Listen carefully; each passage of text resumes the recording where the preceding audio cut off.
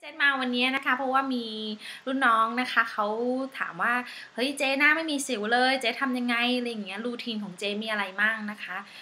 ต้องขอบอกก่อนเลยว่าเรื่องของสิวเนี่ยมันมีตลอดนะคะ แต่ถามว่าที่ไม่มีตอนเนี้ยเพราะว่า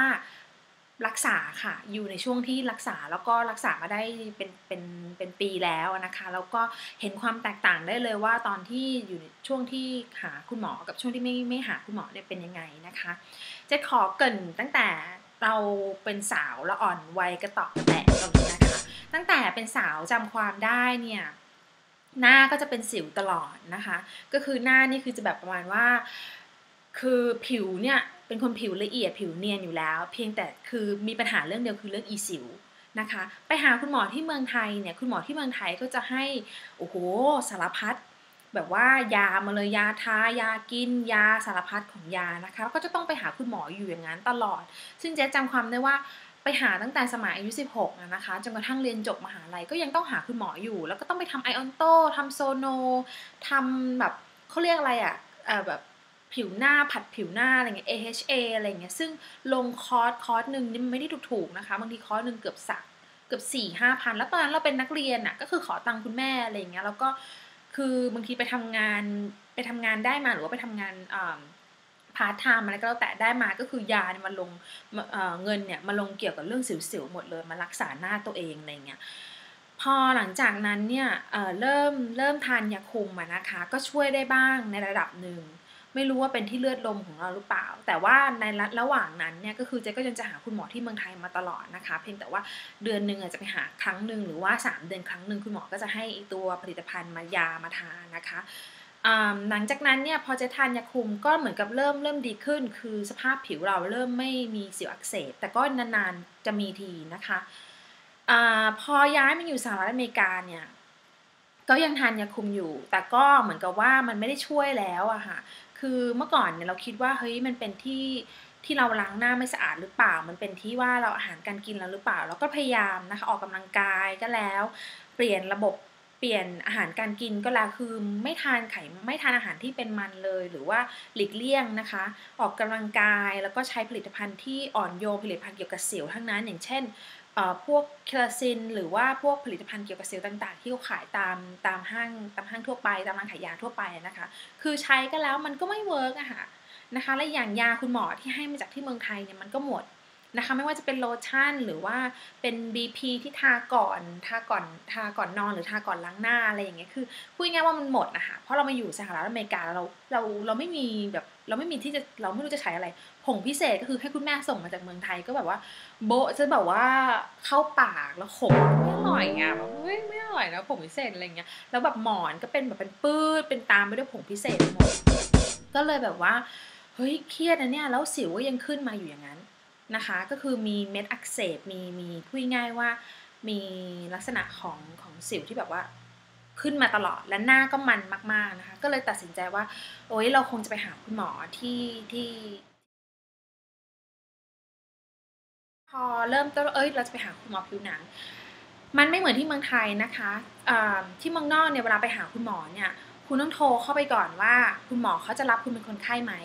อยู่จะเดินแตะแตะแตะแตะแตะเข้าไปแบบว่าหาหมอตีตามแบบว่าเหมือนเหมือนคลินิกผิวหนังเหมือนบ้านเราอะมันไม่ได้นะคะอยู่จะแบบว่าเดินเข้าไปแล้วแบบว่ามาคุณหมออะไรเงี้ยเขาไม่ไม่มีอย่างนั้นนะคะ คุณต้องโทรนัดไปก่อน อโทรไปปุ๊บนางพยาบาลก็จะบอกว่าโอเคเนี่ยจะดูซิว่าคุณหมอจะรับคนไข้ไหมโอ้ยแค่กูมาหาหมอเป็นสิวเนี่ยนะคะ แล้วหลังจากนั้นก็จะบอกว่านัดแบบสามเดือนอะไรอย่างเงี้ยเออหรือว่าล่วงแบบคือกว่าจะได้คิวเนี่ยบางทีก็เป็นสามสัปดาห์หรือสามเดือนเลยทีเดียว ซึ่งอย่างเจ็ดเนี่ยได้คิวประมาณแบบโทรไปช่วงประมาณเดือนพฤษภาเนี่ยได้คิวประมาณสิ้นเดือนอขอโทษได้คิวประมาณมกรากลางเดือนนะคะคิดดูแล้วกันคุณขนาดเอาเงินไปให้เขาแท้ๆเขายังไม่เอาเลยนะคะ ที่เมืองนอกนี้คุณ หมอเล่นตัวมากค่ะ แต่ว่าพอไปหาคุณหมอนะคะ พอไปหาแล้วเนี่ยคุณหมอเขาก็ตรวจสภาพผิวหน้าดูหนังหน้า คือเราต้องล้างหน้าออกหมดเลยนะคะ ห้ามมีเครื่องสำอางอยู่ที่หน้าเลยนะคะ คุณหมอก็จะตรวจสภาพหนังหน้าทีละทีละทีละคลืบทีละคลืบคุณหมอก็จะตรวจแบบว่าทุกอย่างเลยนะคุยกับเราเรื่องอาหารการกินเรื่องอะไรอย่างเงี้ยค่ะ คือเราก็จะบอกบอกเขาว่าฉันเนี่ยรักษามาตลอดนะคะ หลังจากนั้นคุณหมอก็จะให้บอกว่าโอเค ถ้าคุณเป็นคนที่มันหนึ่งเลยเรื่องของสิวเนี่ยมันอยู่ที่เรื่องของฮอร์โมนนะคะสองคืออยู่ที่เรื่องของอายุ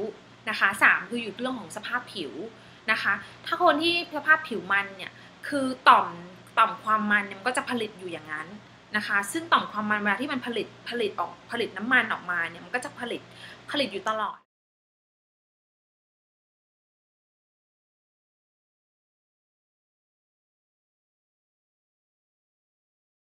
นะคะทำให้บางทีเนี่ยเราก็ไม่ได้หน้าเราสกปรกหรือเราไม่ได้ล้างหน้าไม่สะอาด แต่ว่าสิวมันก็ยังจะอยู่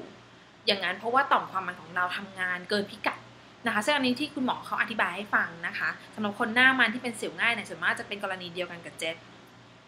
ทีนี้คุณหมอก็จะโอเค สั่งยาค่ะสั่งยามาให้เจษทาน ยาที่เจษได้ทานเนี่ยก็คือจะมีอยู่ 2 ตัวด้วยกันก็คือจะมีด็อกซี่ไซคลินนะคะหรือว่าเทรตินอลไซคลินซึ่งเป็นยาที่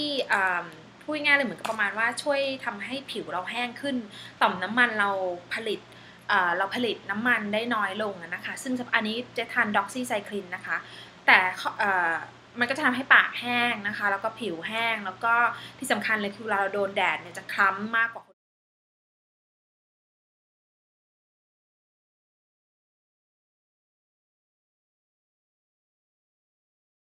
แล้วก็คุณหมอเนี่ยก็ให้ยา มาอีกตัวหนึ่ง ซึ่งเจษเป็นคนที่เป็นเกี่ยวกับเรื่องฮอร์โมนจริงๆ เพราะว่าตอนที่ทานดอกทานด็อกซี่ไซคลินแล้วเนี่ย ก็ยังก็ยังแบบว่ามีสภาพที่ฮอร์โมนเราไม่ปกติอะนะคะ หมอก็เลยให้ตัวเนี่ยเป็นเกี่ยวเกี่ยวกับเรื่องฮอร์โมนจริง ๆ ก็คือช่วยปรับฮอร์โมนให้ให้ปกตินะคะ ถ้าใครที่มีประจำเดือนไม่ปกติเนี่ยเป็นเพราะว่าหนึ่งเลยฮอร์โมนคุณไม่ปกติ ทีนี้เนี่ยคนที่คนที่มีปัญหาเรื่องประจำเดือนก็คือจะมีปัญหาเรื่องสิว ถูกไหมคะแล้วก็คือทานตัวนี้ควบคู่การทานวันละ2เม็ดนะคะ คือเช้ากับเย็น แล้วก็หลีกเลี่ยงการทานพวกชีส พวก dairy product ก็คือพวกนม พวกชีส พวกผลิตก็จะให้ยามาทาสองตัวนะคะ ก็คือตัวแรกเนี่ยก็คือเขาเรียกว่า tretinoin cream นะคะ ซึ่งจะมีอยู่ด้วยกันหลายระดับ จะมี0.0.0.25 หรือ 0.1 ขึ้นอยู่กับสภาพผิว ตอนแรกจะเริ่มใช้อยู่ที่ 0.25 นะคะ เป็นตัวนี้ค่ะ ก็คือว่าทาก่อนนอน นะคะ ทาตอนที่เราล้างหน้าอะไรเสร็จเรียบร้อยแล้วเนี่ยก็จะก็ทาตัวนี้ค่ะ ก่อนนอนแล้วก็หลังจากนั้นก็ตามด้วยครีมบำรุงต่างๆไปนะคะ